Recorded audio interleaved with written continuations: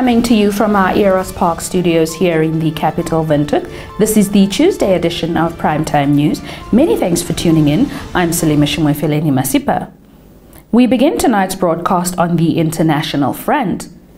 The UN Security Council on Monday rejected a Russian resolution condemning spiraling violence in the Middle East, with delegates refusing to back a motion that did not single out Hamas for its surprise attack on Israel that left at least 1,400 people dead. More context from this report. The council huddled as Israel readied for an expected ground assault on the Gaza Strip after air and artillery strikes that officials say have killed at least 2,750 people. Palestinian Ambassador Riyad Mansour said the council had a moral duty to act in bid to restrain an Israeli assault on the Gaza Strip he said was claiming 12 lives every hour. Don't send the signal that the Palestinian lives don't matter. Don't dare say Israel is not responsible for the bombs it is dropping over their heads. Don't justify the killings. Don't blame the victim. And I repeat, don't. Don't do that. What is happening in Gaza is not a military operation. It is a full scale assault against our people. It is massacres against innocent civilians. Israel's Gilad Erdan said the Security Council, which has not adopted a resolution on the situation in Israel and the Palestinian territories since 2016, stood at one of its most pivotal crossroads since its founding in the aftermath of World War II. Will the Council support the fight for civilization? Or will it incentivize the genocidal jihadists who aim to murder all the infidels? Back home, the governor of the Omaheke region, Pijoo Nganate, recently articulated the effects of the government's ban, which forbade the purchase of vehicles for officers, ministries, agencies on the running of several government agencies in the region. Nganate shared his observations during a meeting of the National Council Standing Committee on Transport, Infrastructure and Housing, which is looking at how the ban on offices, ministries, and agencies may affect them. Let's listen in. I don't think we, we need to be stranded with cars that are standing the judges fall and sometimes small things. And if a car is written off, you cannot even take parts from that car and put on another car. Apparently, it's not allowed that car have to go for auctioning. Other issues is the issue of insurance to government cars that are not insured. Uh, once a car is involved in an accident, it's write-off and and it's a loss to government. So I believe some of those things need to be ruled uh, and I don't know why we're doing that, but those are some of the things that are really backtracking the whole service of government garages. Yeah, but the moratorium is long overdue, need to be lifted because all of us are driving cars that are risky. The other day I accompanied the Deputy Prime Minister just for my car to leave me in uh, uh, Talismanus and I had to come back with an NBC car. So the fleet is not reliable at all and the moratorium need to be lifted now. So that's those are my opinions. But generally government garages can do better. But they are being run from Windhoek it can be. We cannot talk of decentralization and then still people have to be run from Windhoek instead of at regional level. Yeah, and then generally when you even you look at artisans at government um, uh, Ministry of Works, they are doing nothing. All the works have to go to tenders, even replacing a, a class door. Someone who's on a year tender must replace that class door. Onto a rather unfortunate incident.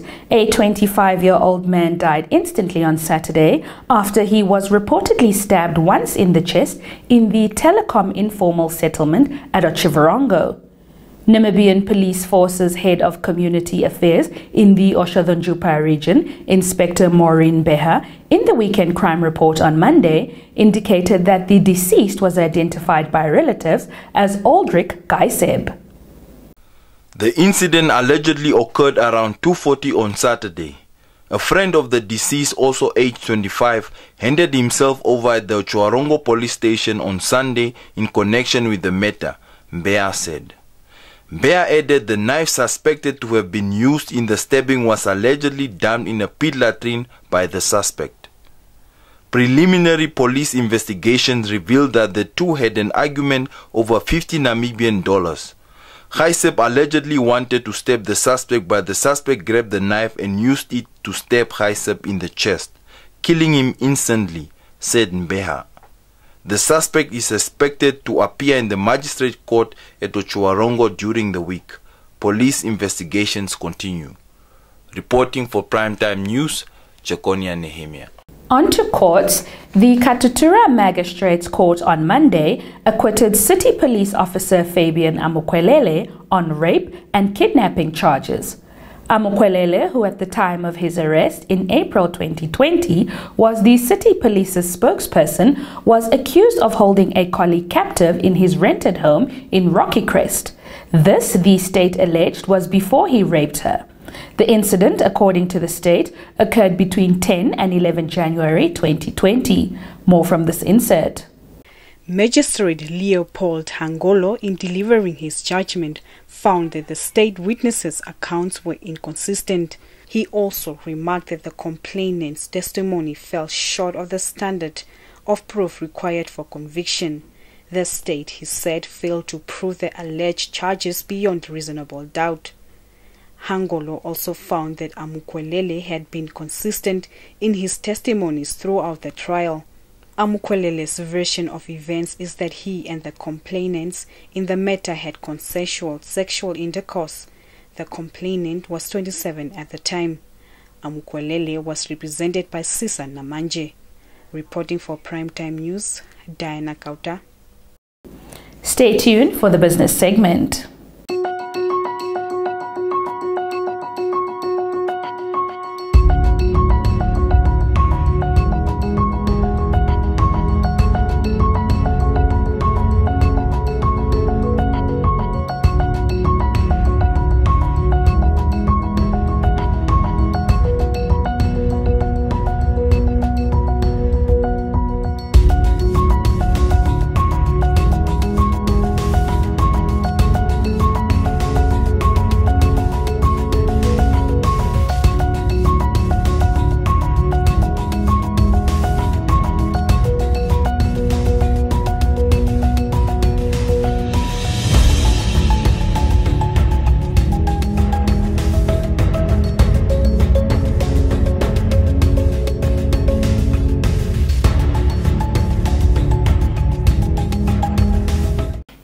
Welcome to the Primetime Biz segment, your leading source for the latest developments in the world of business and economics. Ophthalmologist Dr. Helena Ndume on Monday noted that MTC's assistance over the past two years has empowered their medical professionals diagnose and treat a wide range of eye conditions with accuracy and precision. Ndume made the remarks during the announcement of MTC's investment of 12.5 million Namibian dollars in corporate social investment projects for the financial year 2023-2024. Your belief in our cause encourages us to continue striving towards creating a world where everyone has access to care, regardless of their economic or social standing in the communities. And they receive this state of the art um, help without paying an arm and a leg for it. And that is what we are aiming for, especially in our ophthalmology department. On his part, MTC's managing director, Licky Erastus, stated at the event that while they are proud of their contributions, they recognize your journey towards sustainability is ongoing. And our view is that there should be absolutely no competition amongst corporate companies, whether in the public or private sector, when it comes to CSI. We must collaborate, we must engage each other, and we need to partner if we want to make a real impact in society. The beneficiaries of the CSI project are One Economy Foundation, MTC Rural School Project, Nation Internship Project, DW Land Delivery Initiative, DW Early Childhood Development, MTC for Life, MTC Care, Vision Restoration Initiative, Hope Village, Community Seed Bank, Konone Early Warning System Sorting, and the Sourcing Initiative by the City of Windhoek. On to some positive developments within the local agro sector. Helena Heiter from the Community Seed Bank announced the establishment of seed banks across the country, enabling local farmers to access, share, and exchange plant seeds. Haita made the revelation at the announcement of MTC's investment of 12.5 million Namibian dollars in corporate social investment projects for the financial year 2023-2024. More context from this report. Growing up, we all grew up in either farms or rural communities like northern part. We used to eat different type of fruits or, or, or plants from our fields. But all of a sudden, this type of plants are kind of either becoming rare or you don't just see them at all. Where are they? Things are changing. So the seedling is here to conserve or protect our indigenous plant species from our old umahangus, from our old uh, beans, those ones, the tastier one, you know, the one we used to eat. So they are getting scarce. We are losing them, and this is because of development. Uh, large lack of rents are being cleared up because of schools and other uh, developmental activities, mining, the big corporate. It's clearing a lot of uh, uh, this type of land. So we are reserving those plants or seeds so that we don't lose them. So we, thanks to MTC, last year they gave us uh, an amount to construct a seed bank. So because we are the only one national seed bank in Namibia, so we want to decentralize this uh, activity to the local areas or their regions. So we constructed one of its kind uh, in Kavango West region, Sarikwe uh, village. So in this community seed bank, communities are willing to uh, sell or manage their seeds. They are going to protect and store their seed within those uh, structures. Those days you can, you can find this seed sometime in your home grandmother is having this seed, a bottle full of seed, kept somewhere. And you're like, what are this seed doing here? So with the community seed banks, they have that kind of governed uh, environment where they are going to keep their seed and they are able to exchange among themselves. So basically, we do not necessarily need uh, large companies to sell seed to our community because a lot of our food we eat, they are homegrown. So if we can have these seed banks, we can promote food security. For tomorrow's countrywide forecast, let's now consult the weather report.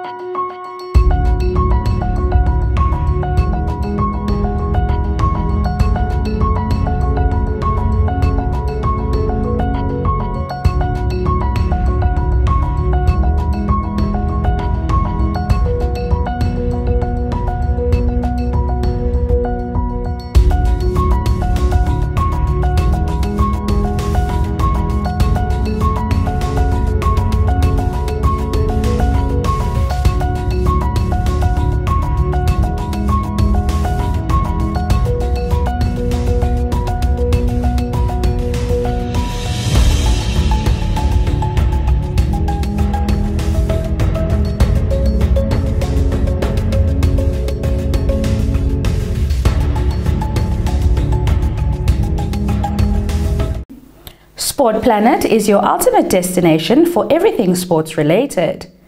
We begin locally as the Brave Warriors prepare for the biggest footballing showpiece on the continent. What are the lads' chances of making it far in the tournament?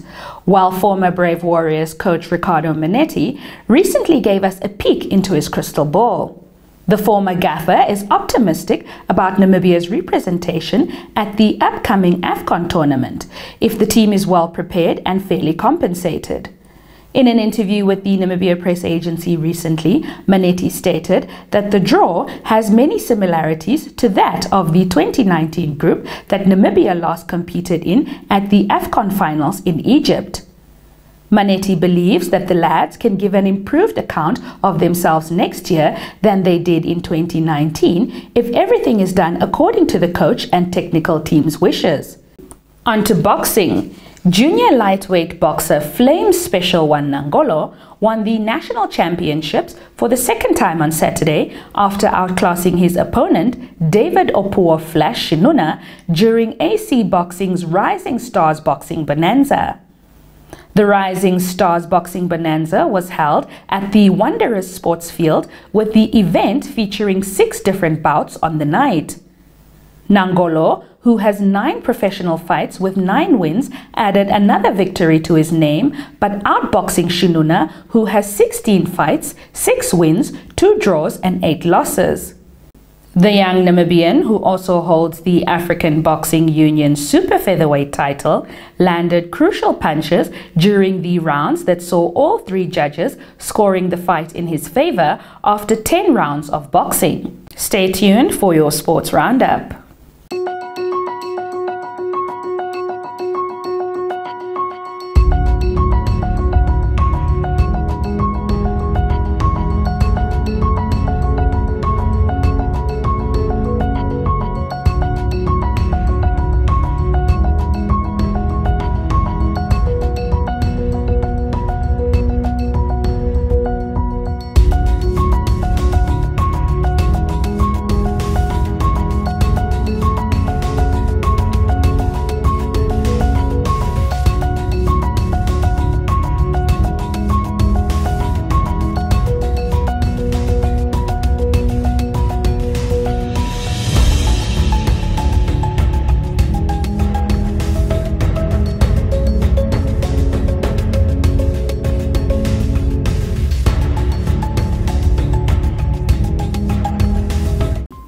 On that note, we have come to the end of tonight's broadcast. Many thanks for having tuned into your go to news channel. Before we wrap it up, a kind reminder that to be part of the Nampa TV community, do follow the on screen prompts by subscribing to the channel. Otherwise, from myself, Salima Shumwefeleni Masipa, alongside my dedicated production crew behind the scenes, it's bye bye till tomorrow. Good night.